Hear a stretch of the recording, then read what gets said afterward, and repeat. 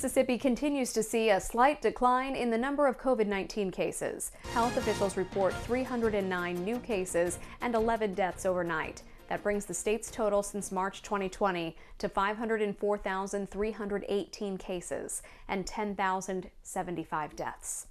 Hospitalizations have also dropped to 215 patients statewide.